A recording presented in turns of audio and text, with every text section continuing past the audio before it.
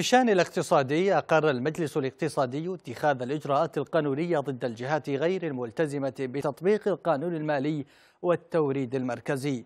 وشدد المجلس أثناء اجتماع له على ضرورة تكاتف الجهود بين الحكومة والبنك المركزي لوضع حد لما وصفه بالعبث في أقوات ومعيشة المواطنين.